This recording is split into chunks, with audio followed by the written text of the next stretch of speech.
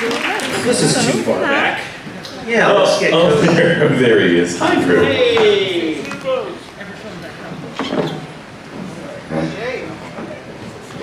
Sorry, I'm a little late. You look especially tousled this How, morning. jeez, Drew. Can I- can I Did you ask- just get out of a, a, a dryer? Can I ask, how many minutes have you been awake?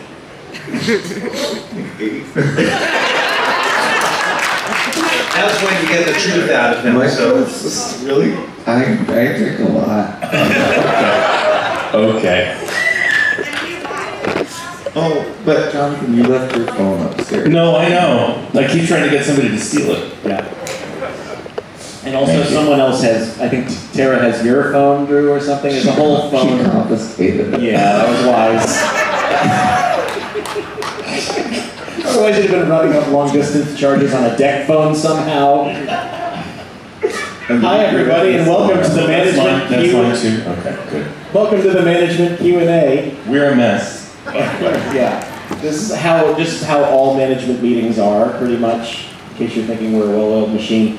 We have a microphone down here in this corner that you can come to. If you have mobility issues, just raise your hand and we'll make sure we can get the mic to you.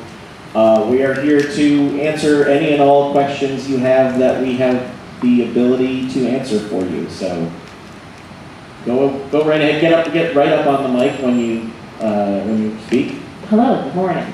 Morning. Um, Uh, I seem to notice there aren't really any sponsors this year. Um, I was wondering if that was a choice or a circumstance, and other than swag, what do sponsors do?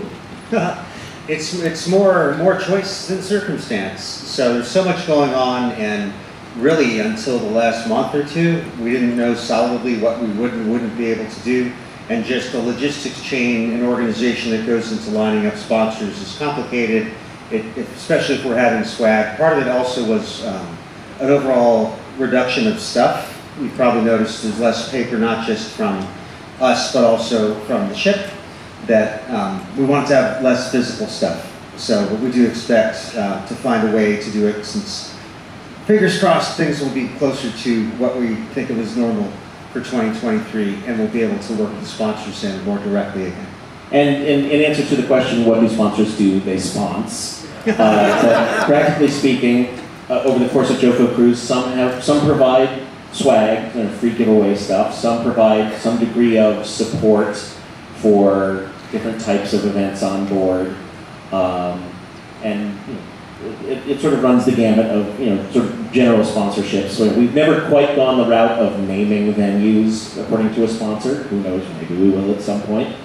Um, but yeah, it's, it's sort of a, variety of, of support things like that. And it's evolved over the years. So when we were smaller, like we had uh, sponsors that would help us do practical things. So we're, we're going to revisit that for 2023. Do you have Thank you something you'd like to sponsor?